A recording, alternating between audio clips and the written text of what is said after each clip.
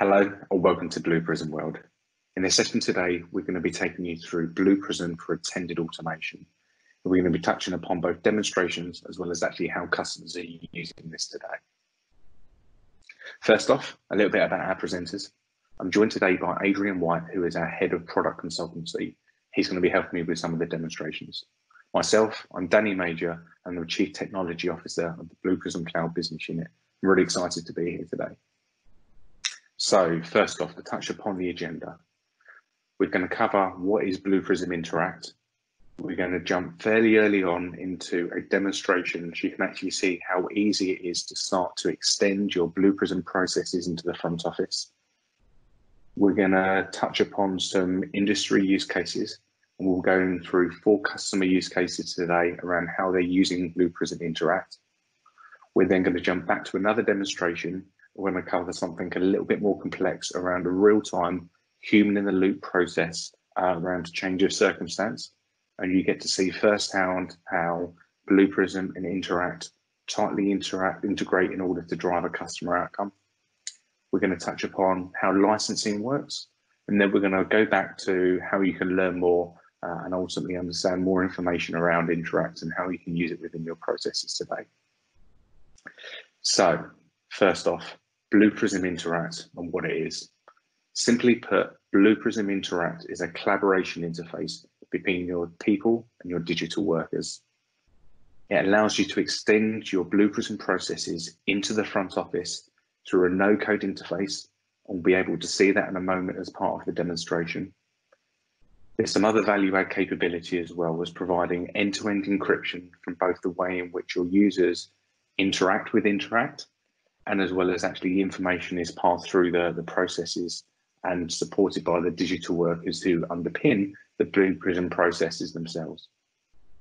Interact is also catered for uh, end user white labeling. So what we're able to do is actually craft and create very unique experiences for each user who logs in and accesses Interact. And that goes into both the processes that they're able to uh, interact with, as well as the branding and white labeling theming that they receive as well. So a huge amount of customization around what can be done here. And in addition to this, we also support user level localization. So you can start to style not only in a branding thing, but also the language that the end user uh, prefers as well. And our data sheets will show and demonstrate the range of languages that we're able to support with this capability. So First off, let's jump into a demonstration. Just to set the scene here, what we're going to be doing is taking you through how you can build and extend the Blue Prism process using Blue Prism Interact. We're going to demonstrate the no-code interface and ultimately how easy it is to use Interact as part of Blue Prism.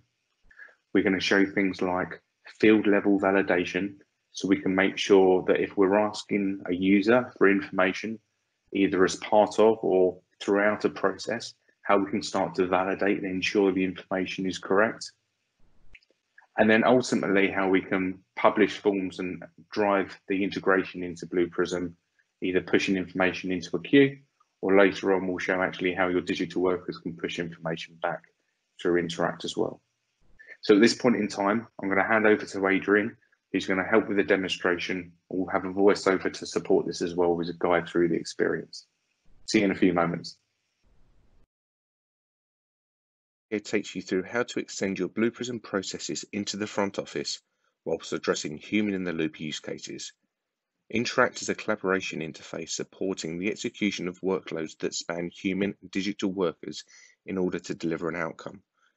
The whole user experience is web-based and the form creation interface is accessible for users within the Blue Prism Center of Excellence.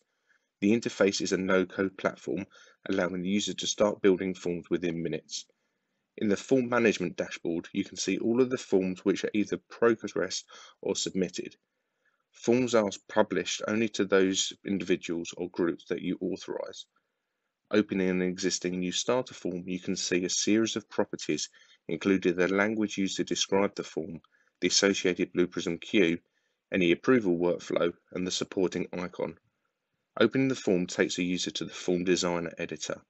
There are two key panes, the left which allows a user to design the form and the right which renders the form in real time, allowing the user to experience how it will be presented to the end users once published. As the fields are reordered, you can see them immediately update in the playtest pane. Opening one of the fields exposes the options, in this case the drop-down list.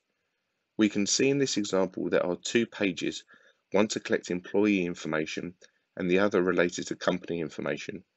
Pages like fields can be hidden on the fly based on user selection. Creating a new field on a page shows the full list of options such as date, time, radio and upload types. Each field type has its own validation options. For example, in the case of a date, you can set the limits on the past or future dates as well as the time span. If we take a look at the national insurance number field, you can see that the advanced regular expression option has been used to validate the inputted national insurance number meets the expected format. Entering a value that is not supported then presents a custom message back to the user. The same has been done for the social security number field.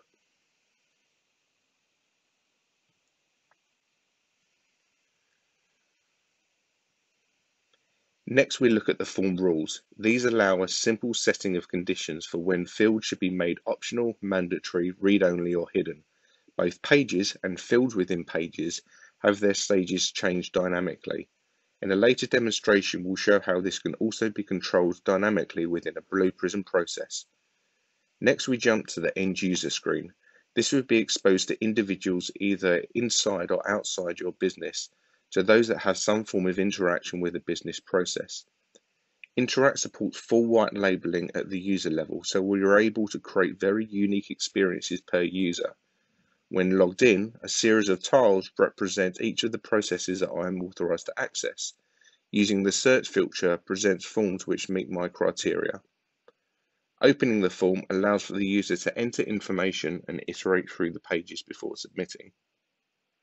Once submitted or saved as a draft, I can visit the submission screen to see previously actioned cases. Submissions also present work that has either been given to me by a peer or digital worker to review or verify. In a later demonstration, we'll cover how human in the loop and dynamic forms support a Blue Prism process. Thank you for watching. Great. So as part of that demonstration, hopefully we now understand how easy it is to be able to, to use, interact, and how we can start to extend our Blue Prism processes through a no-code interface into the front office. And there'll be another demonstration that we'll cover in a moment. Before we do that, however, I want to bring four uses cases to your attention around how Interact is being used today. So first off, we have an energy and utilities example and this customer, EDF Energy, interestingly uses Interact in a blend of real-time and non-real-time processes to support both internal use cases and other use cases that have a more direct customer front office interaction. So ultimately, they're able to extend their processes for activities such as uh, uh, update of account details, being able to solicit the information from the user to collect the information once to then manage that account details updates across multiple backend systems. Hmm. what we're doing here is we're using the power of Blue Prism Interact to extend into the front office, coupled with the power of Blue Prism to drive the interaction against multiple backend systems. Next off, we have a US healthcare example. And for this customer, Mount Sinai, they're able to extend their patient registration process to their end users. And the value here is that you're able to transform the way in which their process works so that rather than individual going into clinics or other locations to fill out a paper form of information, they could instead transform and digitize that process, asking for the information once, collecting that information, and then using the power of Blue Prism to drive that information into the process, accessing the backend systems of Mount Sinai. So quite valuable here because actually, again, being able to digitize a, business process whilst extending into the front office. Next off, we have Wiltshire County Council, who are able to work with their utility providers in order to simplify the way in which they can ask for temporary traffic signals. So taking uh, a well-established business process that would have previously required manual intervention in order to initiate the activities, they could not only automate the process on the back end with Blue Prism, it extends an easy to consume interface out to their utility partners to allow them to initiate the process, as well as have information provided back to them at the end of the process once the activity had been completed by the digital workers. And lastly, for a financial services example, we have Thomas Miller. They were able to automate their renewals process. And ultimately, the value here was about driving down email based communication, which had a number of issues and a number of impacting items on the way in which they could automate. Through extending a process through Interact, they were able to validate the information and ensure that they were asking for the right information in order to complete a process. And kind of jumping back to what you saw on the form designer demonstration, if we only need four or five pieces of information, we can ask from that for the user. We can move away from unstructured conversational language and just prompt the user with the information that we require in order for our processes to be successful.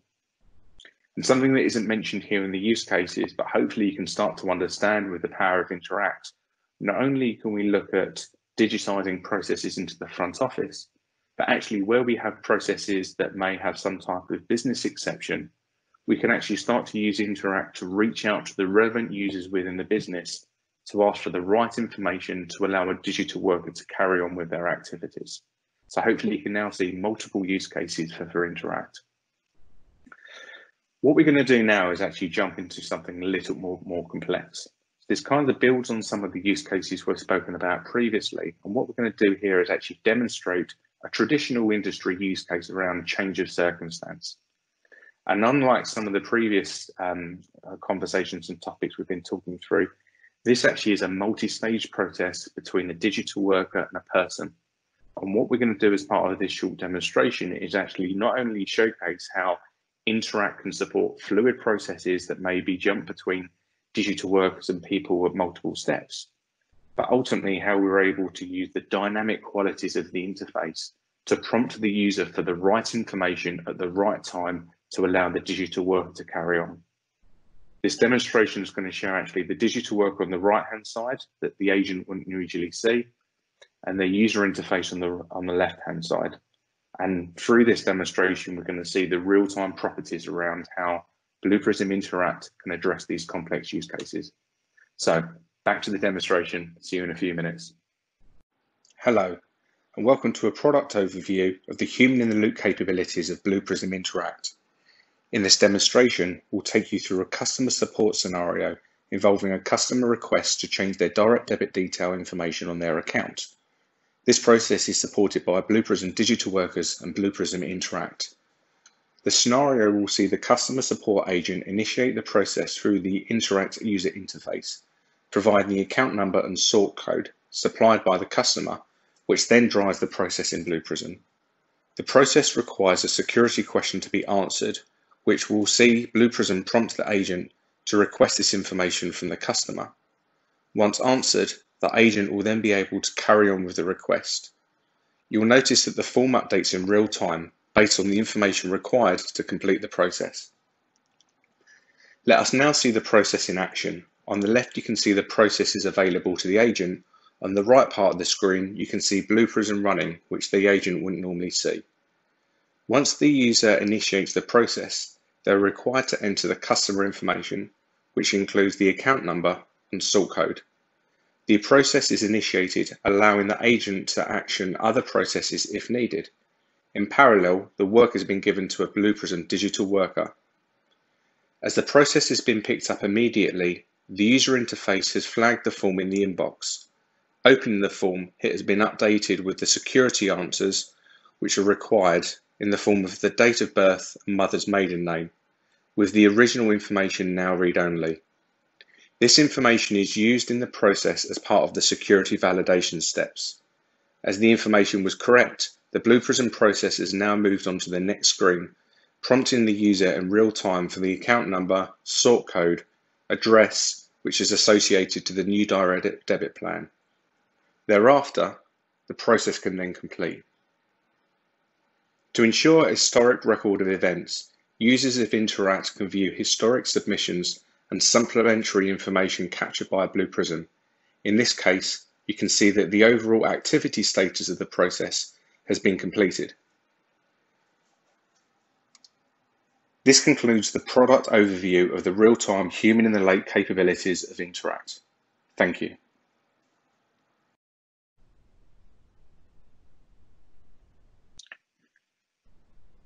Great. Well, hopefully you enjoyed that demonstration and you saw really the complexity in the way in which Interact can be deployed in order to support those use cases. And again, not only simplified use cases where we just need to get information into the system to allow Blue Prism to carry on with activities, and not just in use cases where we need digital workers to present information back to a user as part of the end of a, an activity, but actually how we can support those much more fluid real-time activities where you need digital workers supporting your users in real time in order to drive a successful outcome for the business process. So what we're going to do now is briefly talk about licensing, a couple of key properties around how licensing works. So Interact is deployed for uh, organization's existing deployment of Blue Prism, or even an entirely new deployment of Blue Prism. But the interesting point here is actually you need only license Interact for your front office processes. So in an example, you, a customer, a partner, may have 100 Blue Prism digital workers, but you may only have 20 digital workers which support your, your processes. You only need license interact for those 20 processes. In addition, there's no user limit on the amount of people who can drive processes interact or solicit activities off the back of a process being managed through interact. So there's no user limit. Based on what you saw in some of the earlier demonstrations, each of the process tiles that are presented, there's an unlimited use of process tiles as well. Lastly, there's no form limit as well. So if you want to have multiple forms for multiple processes, you can do that as well within, within Interact. And, long, and coming back to the previous point, your digital work is in essence untethered from Interact. They can not only support your front office processes, but they can do other back office tasks at the same time. And the goal here is about providing ultimate flexibility for you, our customers and partners in the way in which you extend Blue Prism. So aware we've covered quite a lot of information on this session today. So I now want to take a couple of moments just to talk about some of the available resources to you around how you can learn about Blue Prism Interact. So first off, you have the Blue Prism University. Uh, on there, there is a course and we'll share some information afterwards around how you can start to understand more about Blue Prism Interact uh, and understand how it can link into Blue Prism and how you can start to extend your processes. There's going to be videos and information on the Blue Prism communities. So being able to search for Blue Prism Interact, you'll be able to find the information that we're starting to share around this. And lastly, there's going to be future webinars on Interact as well, how we start to go into more levels of detail around how Interact is being used today. And we also have uh, information on the screen around how you can get in contact with us in order to understand more about how Interact can be used to support your Blue Prism processes today. So finally, from me, thank you for your time. I hope you enjoyed this session and likewise the rest of Blue Prism World. Really good to talking to you. Hope to see you soon. Bye.